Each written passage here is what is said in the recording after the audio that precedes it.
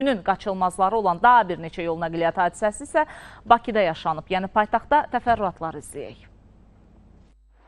Yasamal rayonunda bir ailənin üç üzvünü maşın vurub. Hadisə Füzuli küçəsində qeydə alınıb. Handbol üzrə Olimpiya çempionu 68 yaşlı Lyudmila Şubina idarə etdiyi Honda markalı avtomobillə Gəncədən Bakıya qonaq gələn Namiq Məmmədov, həyat yoldaşı 29 yaşlı Ülkər Məmmədova və övladları 3 yaşlı Hüseyni vurub. Hadisədən sonra sürücü özü yaralıları xəstəxanaya çatdırıb.